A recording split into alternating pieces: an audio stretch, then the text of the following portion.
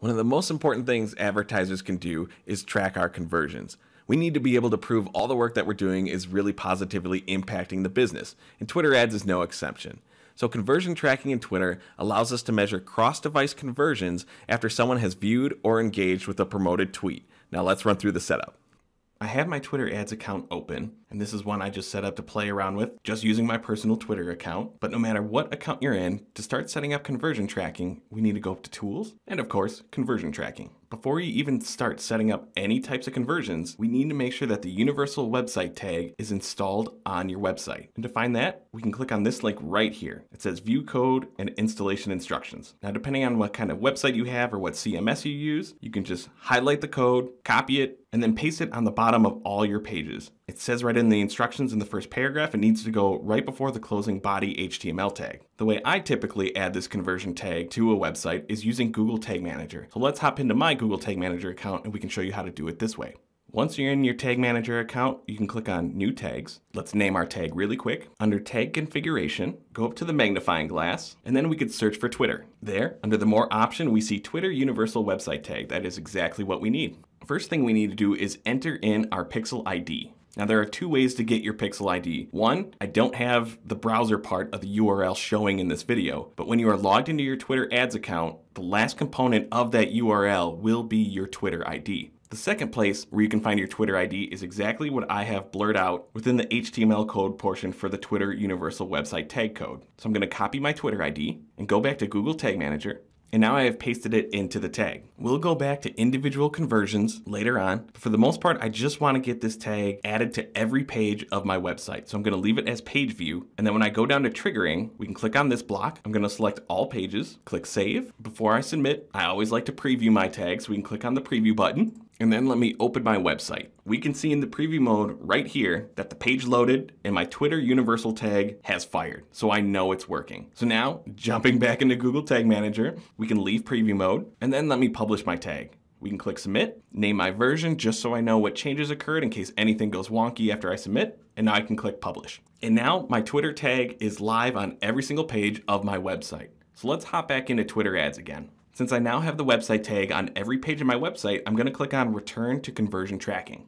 And since I just created it, the website tag is still pending, but now I'm gonna go up to Create New Conversion Event. So on my personal website, the only conversion action that I consider important that a user can take is filling out the contact form. And this conversion on my website is a URL based conversion. This is the easiest kind of setup if you're using the Twitter universal tag. So as always, we need to name our conversions. Looking at the options for the type of conversion, we have a few options to select. We see there's page visit, purchase, download, sign up, and custom. This is just a way for you to put your conversion types into specific categories. Mine technically is a site visit. They do have to visit a specific page on my website to fill out this form. By default, we're going to use the universal website tag and that's already selected for us. You'll see why this makes things really easy. For whatever reason, if you're not allowed to get the universal tag on the website, you can use a single event website tag. But I've never run into the situation of not being able to put the universal tag on the website. To me, if you can put the universal tag on the site, you really don't need to do a single event website tag, so I'm just gonna go back to the default.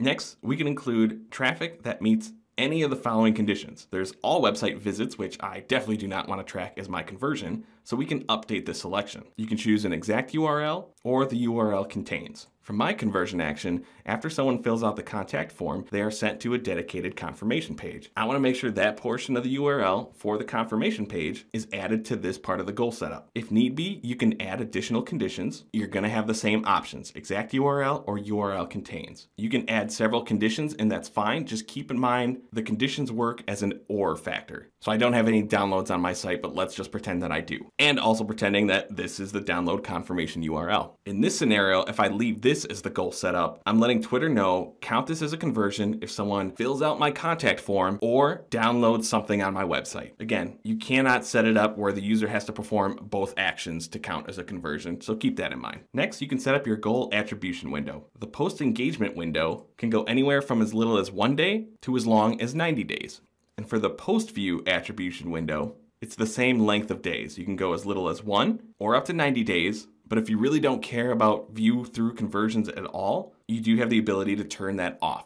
If you're happy with your setup, click on their terms and conditions after you've read through every single word of them, right? And then we could save the conversion event. Now we can see that the conversion event has been created. So let's go back to conversion tracking again.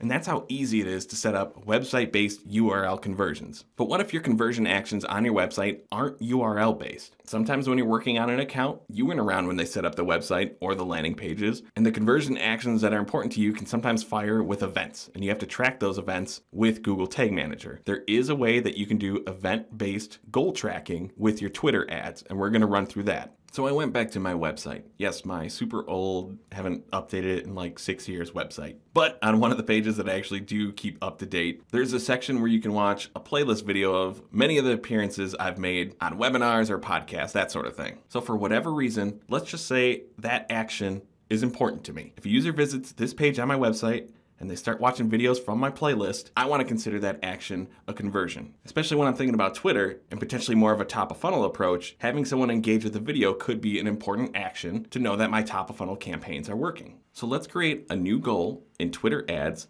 that is going to be based off of an event action a user can take on my website. We're going to want to create a new conversion event. I already have this thing named. Since I don't see a video views option right here, I'm just going to leave it as custom. Now, when I went through the universal website tag goal setup, you saw that the only options were website visit goals. For this option, we want to use the single event website tag. And to potentially save you some time, you do have the option to automatically create a tailored audience from the single event tag. We have already posted a video that goes through all the targeting options you have within Twitter ads. And tailored audiences are custom audiences that you can create for remarketing. So in this instance, I'm creating a goal based off of anyone who viewed a YouTube video on my website. If I check that box, which I've already done, I can also create an audience to use for remarketing based off of anyone who viewed a video on my website. It's kind of like killing two birds with one stone. Even if you don't use it, that's fine. It doesn't really take any effort to set it up. Again, specify your custom attribution windows. I'm just gonna leave it as is, check that terms and agreement again, and now we can save the conversion event. After the event is created, we now get a new piece of code that we have to add to the website. So in the instructions on the page, it's telling you to add it to a specific page of your website, but ignore that. We're talking about event-based conversions here. So let me highlight this entire piece of code. I'm gonna copy it, and then let's head back to Google Tag Manager. Again, we wanna create a new tag, name it, and for tag type, we want to choose custom HTML. Here's where we can paste that single event code that Twitter just gave me. As for the trigger block, I have already created the trigger action to start tracking whenever someone views a YouTube video on my website. And if you're really interested in how to track video views on your website from YouTube videos, we already have a video created and you can check that out in the link above. I'm okay with this setup, so let's click save. And again, we want to preview. I am now in preview mode, so let's head back to my website.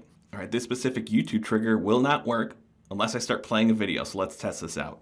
And there we see it, highlighted right there. So now I know I'm gonna track conversions every time someone watches a video on my website, and it's working. So let's go back to Twitter ads one more time.